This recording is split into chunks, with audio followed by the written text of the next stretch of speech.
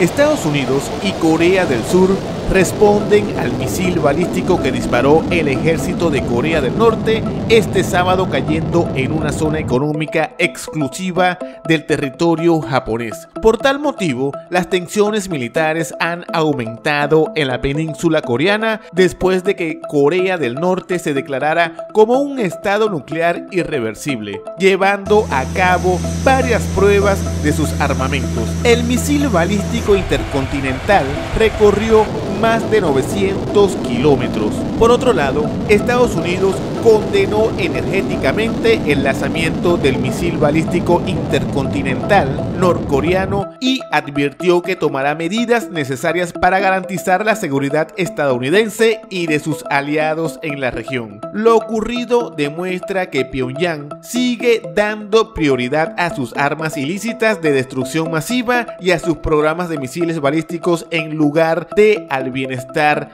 de su gente. Por ello, Estados Unidos llamó a la comunidad internacional a condenar lo sucedido y solicitó a Corea del Norte que cese sus acciones desestabilizadoras y emprenda un diálogo serio. Y es por ello que este domingo Estados Unidos, en respuesta al misil balístico, coordinó junto a Corea del Norte y Japón y envió bombarderos con capacidad nuclear, amigos.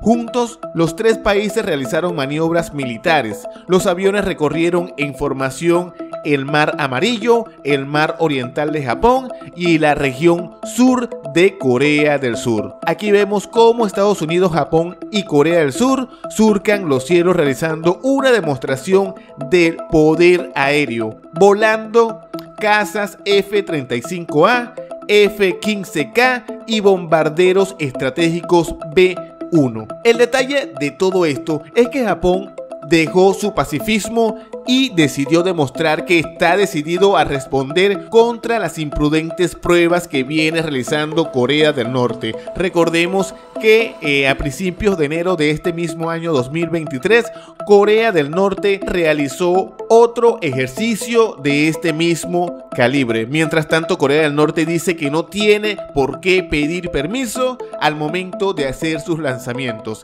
El gobierno norcoreano confirmó el mismo sábado el lanzamiento de un misil intercontinental modelo Wasson 15, que le dio a su vez el nombre de este lanzamiento, prueba por sorpresa. Este proyectil fue disparado desde Pyongyang y voló 989 kilómetros durante una hora antes de impactar en mar abierto, según informó el gobierno norcoreano.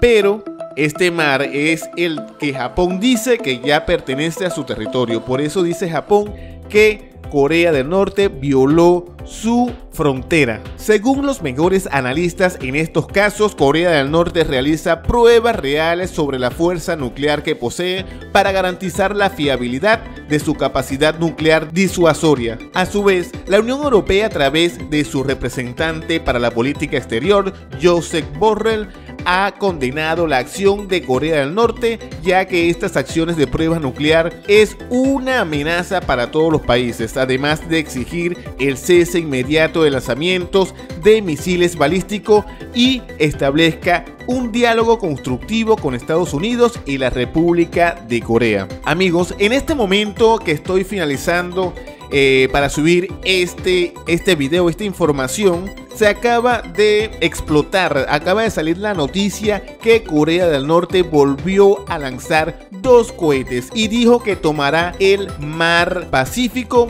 como campo de pruebas y no se le importa nada. En el otro video estaremos expandiendo un poco más en la información del misil balístico que acaba de lanzar Kim Jong-un. Mientras tanto, te invito a que sigas viendo mis otros videos